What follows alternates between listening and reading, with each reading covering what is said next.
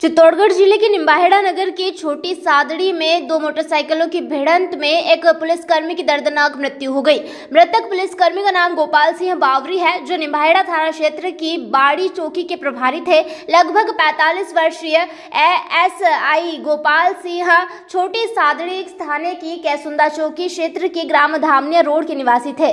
मिली जानकारी के अनुसार यह घटना गुरुवार शाम की है। बाड़ी चौकी प्रभारी सिंह बाइक से जा रहे थे। इस दौरान सामने से आने वाली बाइक से आपस में भिड़ंत हो गई। इससे दोनों बाइक सवार घायल हो गए। दोनों घायलों को तत्काल निम्बाहेड़ा के शासकीय अस्पताल लाया गया, जहाँ उपचार के दौरान एएसआई गोपाल सिंह बावरी की मृत्यु हो गई। वहीं दूसरी बाइक के चालक का अस्पताल में इलाज चल रहा है। सूचना मिलने पर निम्बाहेड़ा के पुलिस उप अधीक्षक बेनी प्रसाद मीणा, सदर थाना प्रभारी वीरेंद्र सिंह टीम सहित शासकीय अस्पताल पहुँचे। पुलिस ने बाड़ी चौकी प्रभारी के इस असामयिक निधन पर गहरा शोक व्यक्त किया। फ़िलहाल मामले में पुलिस जाँच कर रही है। Bureau report voice of MP